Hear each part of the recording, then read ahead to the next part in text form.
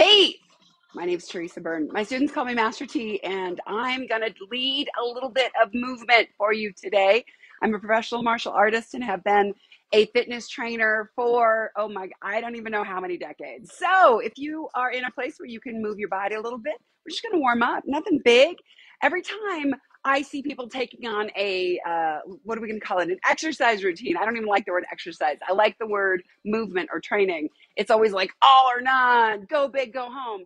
No, just go. You don't have to go big. You can just go. So if you're in the place and you want to join me, we're just going to do some movement, some range of motion. Push your chair away from your desk or find some space and I'll walk you through it. So these are punches. We're just crossing the midline of our body, helps our brain, and if you can see my feet, I'm also rotating my hips because even punches, even though you'd think they just come from your arms, they don't. And you know what? Here's the deal. Trust me. I will not do anything that hurts you. This will not last forever. This is just a warm up for your body.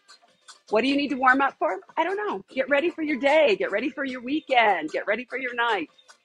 So we're just crossing the midline. Now we're going to take them up stronger, higher, same punches.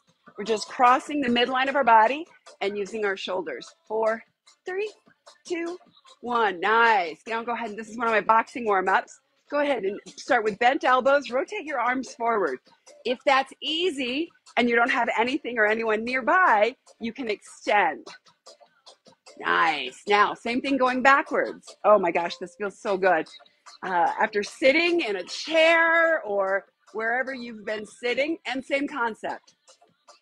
Open your arms up if it feels good. So you don't have to start there. Next, I want you to cross and reach. Cross and reach. Cross and reach. Cross, reach, cross, reach. And these are all great moves for your shoulders, your upper body. Oh, and for those of you who get neck pain or upper back pain, this can really help.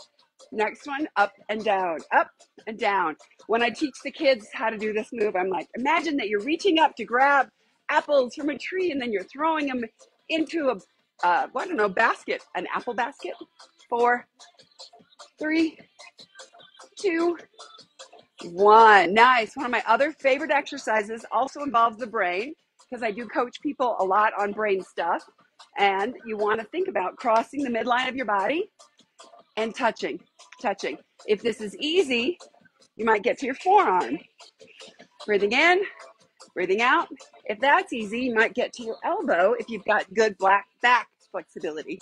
Eight, seven, six, five, four, three, two, one. Nice. Hip circles. One of my favorite things to do, especially if you sit a lot.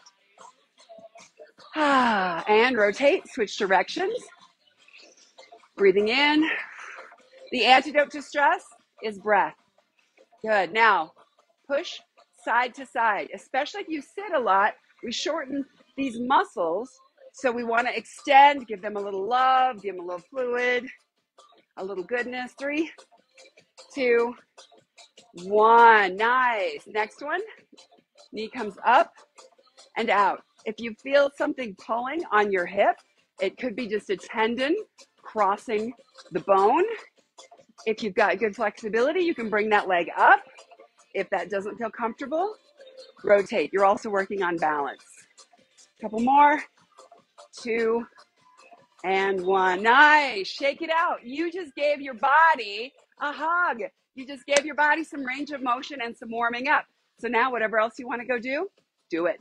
Enjoy your